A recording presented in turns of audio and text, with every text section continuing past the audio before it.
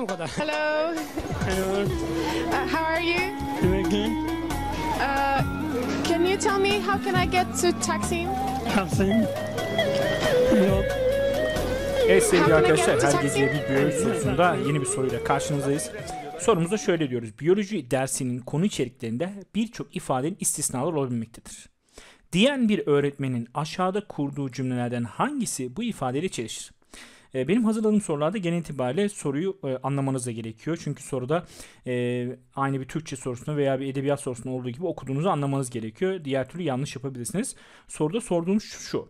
Biyolojide kesinlik ifade eden olaylar azdır.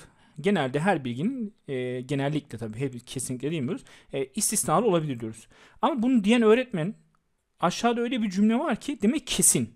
Ve öğretmenin söylediği bu cümleye çelişiyor. Demek ki biyoloji kesin olan bazı şeyler var. Ben soruda bunu soruyorum. Şimdi A şıkkında bütün bitkiler fotosentez yapar diyor. Kesin mi? Değil. Mesela tam parazit bitkiler var arkadaşlar. Tam parazit bitkiler.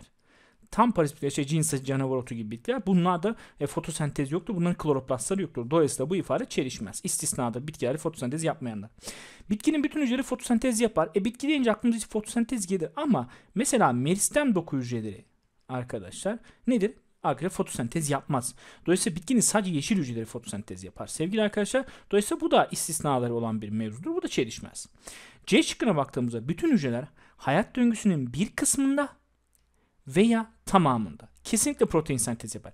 Eğer ben bu soruda bütün hücreler kesinlikle protein sentezi yapar deseydim yine istisnaydı. Mesela olgunlaşmış memeli canlılardaki olgunlaşmış alveol hücrelerinde ribozom olanından protein sentezi görmez. Ancak bütün hücreler hayat döngüsünün bir kısmında veya tamamında dediğim an olgunlaşmış alveol hücrelerinin de bir zamanlar olgunlaşmadan önce ribozomları olduğunu protein sentezi yaptığını bilmemiz gerekiyor. Aynı şekilde yine floemdeki e, kalburlu boru hücreler için de geçerli. Dolayısıyla bu soruda bir kısmında veya tamamında dediğim için kesinlikle protein sentezi yapara doğru diyebiliriz ve kesinlik ifade eder. Sorunun cevabı Ceyhan'dır ve e, yukarıda verilen kısımda çelişir.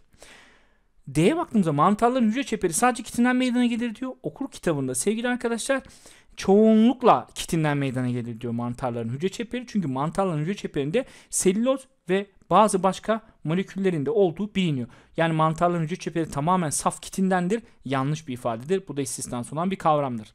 Fotosentez sırasında su kullanılır diyor. Bazı bakteriler fotosentez sırasında ne kullanılır arkadaşlar? H2S kullanılır. Dolayısıyla su kullanmaz. Dolayısıyla oksijen de dışarı vermez. Bu da istisnası olan bir durumdur. Ama C şıkkı bütün canlılar hayatının bir kısmında veya tamamında protein sentezi yapar. Kesinlikle doğrudur ve sorunun cevabı da Cihan'dır. Hepinize iyi geceler diyorum. Kendinize iyi bakın.